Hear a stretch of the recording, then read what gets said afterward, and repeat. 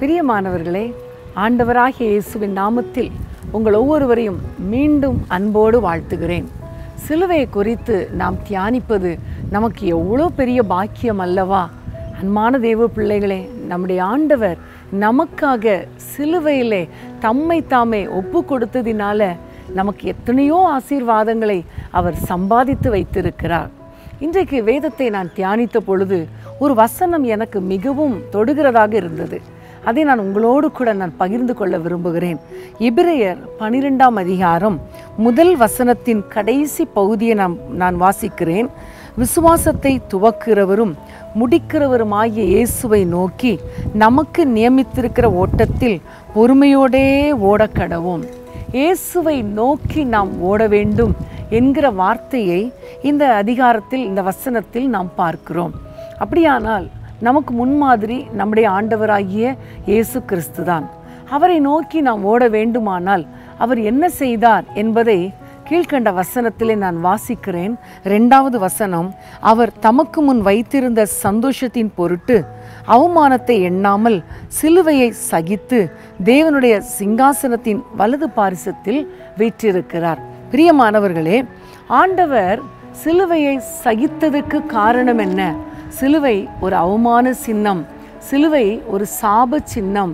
ஆனால் ஆண்டவராகிய இயேசு இந்த சிலுவையை சகித்ததற்கு முக்கியமான காரணம் தமக்கு முன்பாக வைக்கப்பட்ட சந்தோஷம் தமக்கு முன்பாக வைக்கப்பட்ட சிங்காசனம். சிலுவையின் வழியாகத்தான் அவர் சிங்காசனத்தை சுதந்திரிக்க வேண்டும் என்கிற அந்த சந்தோஷத்தின் பொருட்டு இந்த சிலுவை பாடுகளை அவர் ஒரு பொருட்டாக எண்ணாமல் அவர் சகித்தார். அன்பான தேவனுடைய பிள்ளைகளே உங்கள் வாழ்க்கையில் பாடுகள் அவமானங்கள் வரும் பொழுது சிலுவையிலே அந்த அவமானத்தை சகித்த ஆண்டவரை நினைத்து கொள்ளுங்கள். நிச்சயமாகவே இந்த பாடுகளுக்கு பிறகு ஒரு ஆசீர்வாதம் உண்டு. பாடுகள் இல்லாமல் ஆளுகை இல்லை சிலுவை இல்லாமல் சிங்காசனம் இல்லை. வேதம் சொல்லுகிறது அதிசீக்கிரத்தில் நீங்கிவிடும் இந்த லேசான உபத்திரவம் அதி நித்திய கனமகிமை உண்டாக்கும் என்று கொரிந்து சபைக்கு பவுல் கூறுகிறார் அல்லவா? அதை நினைத்து கொள்ளுங்கள் மறவாதேயுங்கள். கொஞ்ச காலம் பாட அனுபவிக்கிற நமக்கு கர்த்தர் அதிக நித்திய கன மகிமையை கர்த்தர் நமக்கு கொடுப்பார். நித்திய நித்திய சந்தோஷத்தை நமக்கு கொடுப்பார். ஆகவே உபத்திரவங்களை சகித்து கொள்ளுங்கள். பாடுகளை சகித்து கொள்ளுங்கள். பாடுகளை சகித்த இயேசுவை நினைத்து கொள்ளுங்கள். இயேசுவை நோக்கி இந்த உலக ஓட்டத்தை ஓடுங்கள். நிச்சயமாகவே ஒரு பெரிய ஆசீர்வாதம் உங்களுக்கு காத்திருக்கிறது. நாம் ஜெபிப்போமா? அன்பின் ஆண்டவரே உமை நன்றியோடு நாங்கள் துதிக்கிறோம் அப்பா.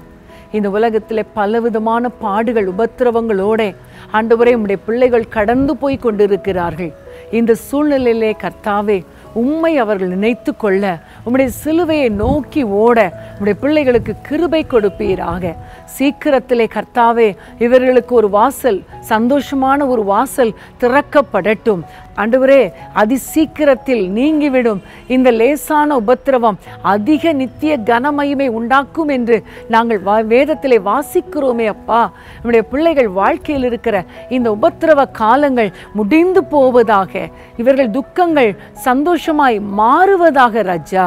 ஆண்டவரே எல்லா போராட்டங்களுக்கும் எல்லா பிரச்சனைகளுக்கும் ஒரு முற்றுப்புள்ளி வைப்பீராக ராஜா. பாடுகள் வெளியாக போகும் பொழுது ஆண்டவரை உம்மை நினைத்து கொள்ள உம்மை நோக்கி பார்க்க. நம்முடைய பிள்ளைகளுக்கு கிருபை பாராட்டுவீராக ராஜா. நம்முடைய பிள்ளைகளை ஆசீர்வதிப்பீராக.